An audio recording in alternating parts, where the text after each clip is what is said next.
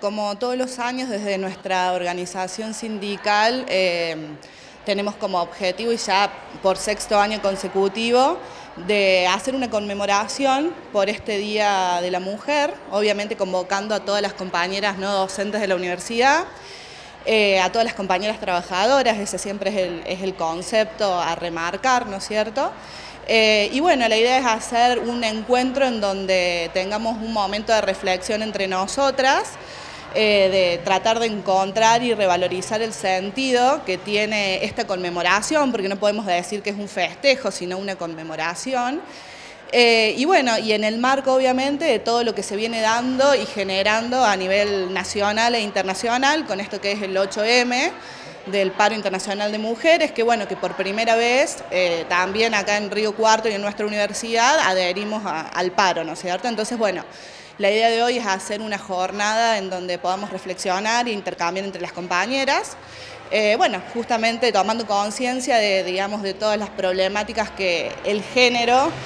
eh, trae consigo y obviamente bregando por, por la igualdad y por el respeto a nuestro género y la conquista de todos los derechos que todavía necesitamos conquistar y que son obviamente súper merecidos y somos merecedoras de eso.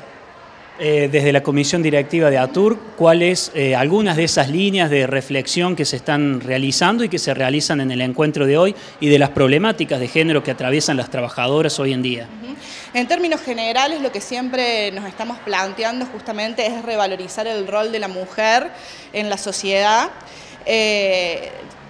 teniendo en cuenta, digamos, la importancia del rol femenino, la importancia de la mujer trabajadora, hoy como sostén del hogar, eh, como digamos aportante de los medios económicos también, eh, la necesidad de tratar de, igualar todo lo que tiene que ver en la cuestión salarial, ¿no es cierto? Eh, que muchas veces eso significa una problemática en el campo laboral para las mujeres y obviamente que ni en Río Cuarto ni a nivel nacional estamos exentos de esa situación, entonces bueno, eh, pero creemos que primero somos nosotros las que tenemos que, obviamente, dar las discusiones para adentro, en nuestros lugares de trabajo, en nuestra familia, en nuestras organizaciones que nos nuclean y que nos representan, y en ese sentido, eh, una vez que tengamos resuelto eso, seguir construyendo en lo colectivo para poder seguir dando la lucha que, no, termina, que es constante y que, bueno, y que hemos dado muestras y estamos dispuestas a, a seguir, digamos, contribuyendo a eso.